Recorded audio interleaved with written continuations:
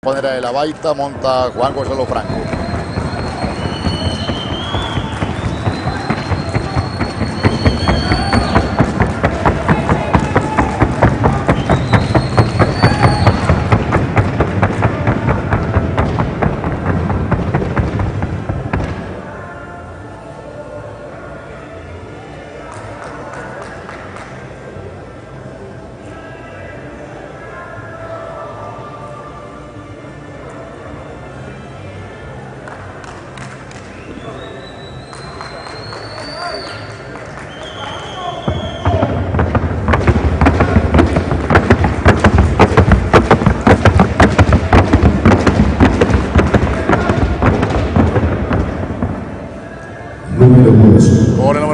A la prueba individual, Marengo del Gran Manantial.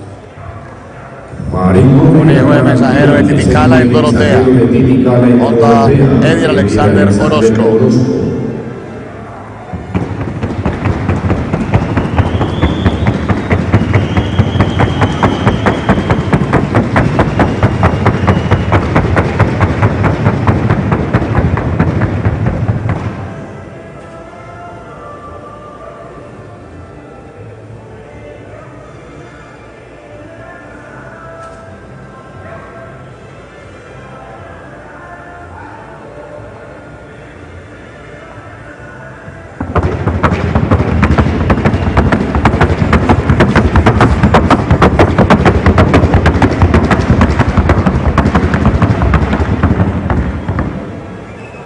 Número 3. Tornado de mi capricho. Rebelde de la Alquería Tsunami de la Luisa.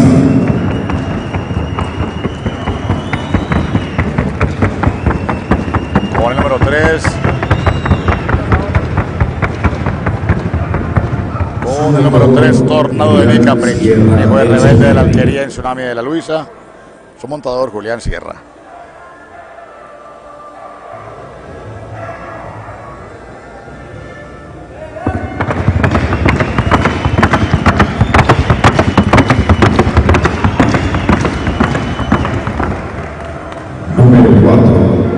De la Cabaña. Es el hijo de Onix en Luna. Su montador, Juan Camilo Cadavid Jaramillo. Número 4, a la verificación del andar por la tabla, Pizarro de la Cabaña, un hijo de Onix en Luna, montado por Juan Camilo Cadavid.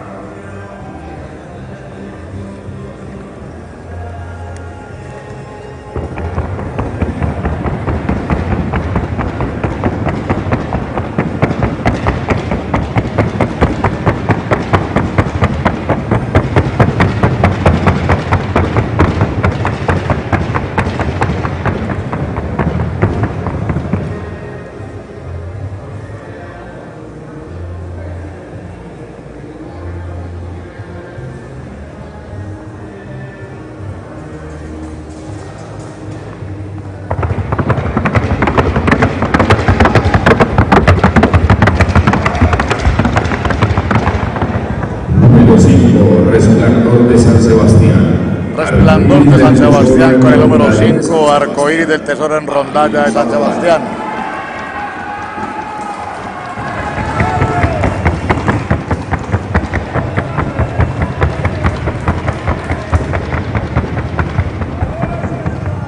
Montado por Alirio Sabogal Quintana.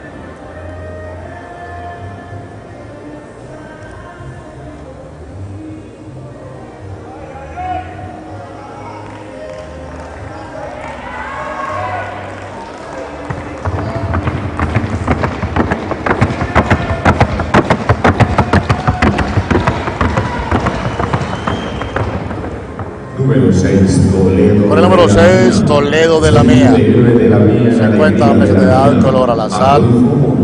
Es un hijo de héroe de la mía, la alegría de la mía.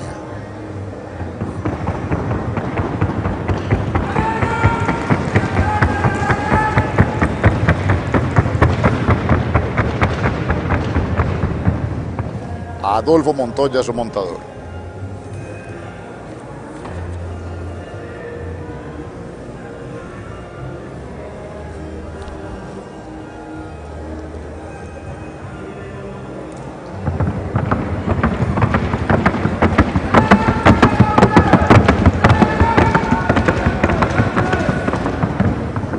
Pasta en San Juan de la Vega, en el Peñol, en el departamento de Antioquia.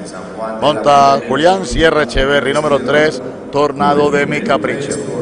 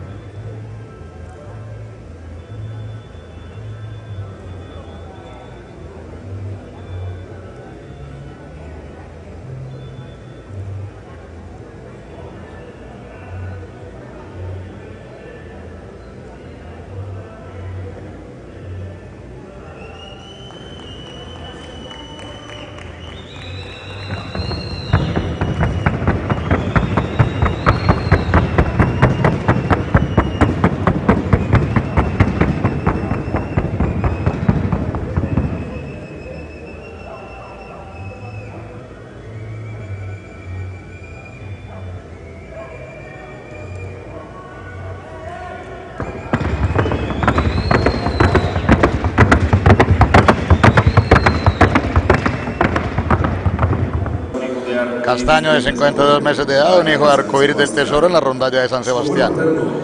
Su abuelo materno, Triqui Triqui del Pilón.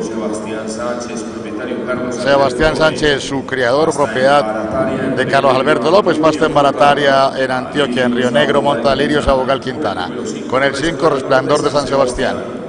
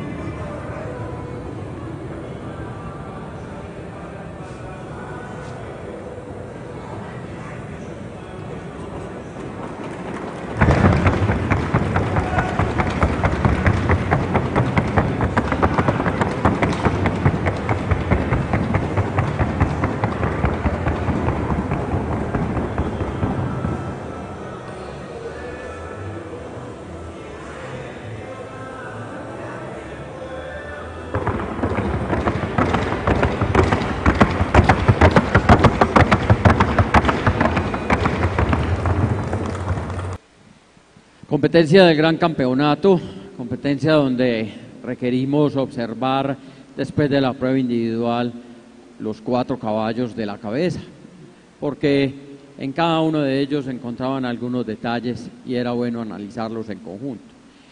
Ponga el movimiento del caballo número 4 si es tan amable. Estos dos caballos no fueron comparados, fueron caballos que tuvieron algunas dificultades, algunas inconsistencias. Este caballo número 4 fue un caballo que no tuvo la disciplina, el orden y el conjunto de los otros caballos. Desprenda a galopar, dejemos quieto el 6, por favor, desprendamos a galopar el 4. Es un caballo que se extiende un poco más, que, comience, que comienza a balancearse por su cabeza y por eso es el caballo cuarto finalista. Caballo número 6, póngalo a trabajar si es tan amable, un caballo más armonioso, un caballo de unos buenos brazos, unos buenos posteriores, un caballo que tuvo algunas, diríamos, altibajos en la competencia, en su ritmo, alteraba por momentos su ritmo, igualmente despréndalo a galopar, un caballo que en el galope por momentos no tiene la reunión, ahí lo ven ustedes, el caballo por momentos se rebrinca un poco de su cabeza y por eso el caballo tercer finalista. Comparando los otros cuatro caballos, hubo necesidad de exigirlos a fondo y cada uno se fue ubicando, por así decirlo. Caballo número uno, póngale en movimiento si es tan amable. Un caballo que comienza de una buena manera la competencia, a medida que van transcurriendo las comparaciones, el caballo va bajando su nivel de ejecución, va perdiendo potencia en sus posteriores y eso le hace perder puntos significativos, por eso es el caballo segundo finalista. Caballo con el número 2, póngalo en movimiento, el caballo de muy buena potencia en su pisada, un caballo firme, claro en la marcación, un caballo que por detrás, en sus posteriores, eh, deja algunos puntos y por eso le hacen ventaja a otros caballos mejor organizados en sus posteriores, pero es un caballo claro, de buena marcación, de buena definición y para él primer finalista. Los dos caballos a la cabeza, el caballo 3 y el caballo 5, caballos más organizados, más disciplinados, más suaves a través de la competencia, caballos de buena rienda, de buena disciplina, caballos que hacen una buena marcación en el trote, pero hay que recordar también esas pasadas por la tabla, esas últimas comparaciones, desprendan los dos caballos y son tan amables y ahí podemos apreciar una diferencia. Un caballo que se reúne mejor, que mantiene mejor esa reunión, el otro caballo dio ventaja, se alargó un poco. Por eso el caballo gran campeón es el caballo número 5 y gran campeón reservado el caballo número 3. Al señor juez Martín Emilio Vélez, muchas gracias por la explicación al juzgamiento. Para el ejemplar número 5, Resplandor de San Sebastián, el hijo de Arcoíris del Tesoro, en Rondalla de San Sebastián, propiedad de Carlos Alberto López, montado por Alirio Sabocal. Gran campeón reservado para Tornado de Mi Capricho, el hijo de Revés de la Alquería en Tsunami de la Luisa, propiedad de Criadero Villa Juana en el Peñol, montó Julián Sierra. Primer finalista para Marengo del Gran Manantial hijo de mensajero de Titicala en Dorotea, propiedad de la reina, montó Edir Alexander Orozco, segundo finalista para Mariscal, hijo de mensaje de San Esteban en Caponera de la Baita, propiedad de Pablo Montoya en la ceja, montó Juan Gonzalo Franco. Tercer finalista para Toledo de la Mía, al hijo de Héroe de la Mía en Alegría de la Mía, propiedad de este criadero, montó Adolfo Montoya. Cuarto finalista para Pizarro de la Cabaña, el hijo de, Onix en Luna, propiedad de Fernando Augusto Cadavid, que montó Juan Camilo Cadavid. Hasta aquí hemos llegado amigos con esta transmisión a nombre del Politécnico Cianco. Ha sido un placer y un privilegio estar con ustedes esta noche.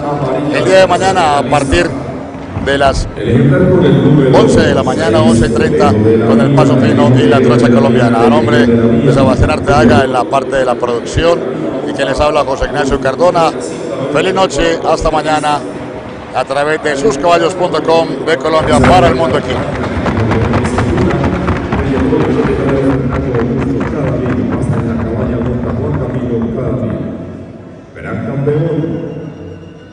Resplandor de San Sebastián, gran campeón reservado, tornado de mi capricho.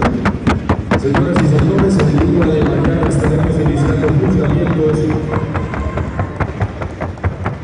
las 11 en punto de la mañana y después de realizar los respectivos cómputos de los ejemplares en la modalidad del trote y el galope, ha sido declarado mejor criador y mejor expositor en el norte y el colombiano, criadero La Mía.